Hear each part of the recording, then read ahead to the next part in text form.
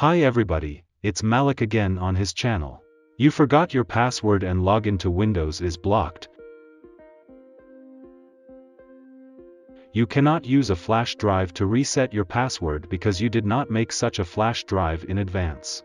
None of the password reset methods that you have already tried helped, and now you don't know what else you can do to gain access to your computer or laptop and not lose the personal files that you store on Drive D. Look carefully, don't worry, repeat exactly after me step by step and we will succeed. Press and hold the shift key. And you will go, here, and you now need to restart your computer. Click, restart, while holding down the shift key. I'm still holding it, okay, now I just released the shift key up, once it restarted and now you're here in the system recovery options. Click, troubleshoot. Then I will go to the reset this PC option to remove the password and gain access to the computer. In this window, you can select keep my files, but along with your personal files, your account information will be saved along with your forgotten password, and when you turn on the computer, you will see a lock screen with a forgotten password and again you will not be able to log into Windows. And to remove the password for logging into Windows, you must select Remove Everything, and then you will have access to the computer.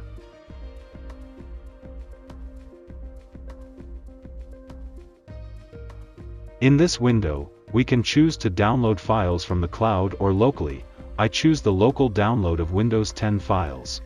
If you are going to give your computer to another person or you purchase this computer from another person, then you better select all drives, this option will allow you to completely wipe the computer without the possibility of restoring old data. But if you are doing this for yourself, and in addition to Drive C, you also have Drive D or other drives on the computer where you store personal files, then you need to select here, only the drive where Windows is installed. On my computer there is disk D with my personal data, and I click, only the drive where Windows is installed. In this window you can completely delete all data on all drives, but I need my data on drive D and I click, just delete my files. This page tells you what changes will happen to your computer as a result of this process. If you want to go back or change something in the settings, click, cancel, if you are ready to start the process, click, reset. The process of resetting your computer takes quite a long time, and if you are doing this on a laptop, please connect the laptop to a power source. And so, I click, reset, and the process of resetting the computer began. For a while you don't have to do anything and you can relax and have a cup of coffee or tea. The computer will automatically restart several times.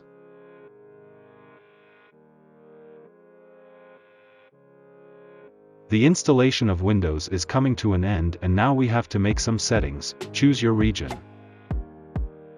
Now the keyboard layout. Skip. Here you need to accept the license terms. I will be using Windows for myself. Next. Here you need to enter your Microsoft account information. If you do not have a Microsoft account, click, Create Account, and then follow the instructions of the system until you register. To make a local account, click, here. In this window you need to enter your username. Next. You'll need to enter a password here, but I'll do that later. Next. Here I waive all proposed terms of confidentiality.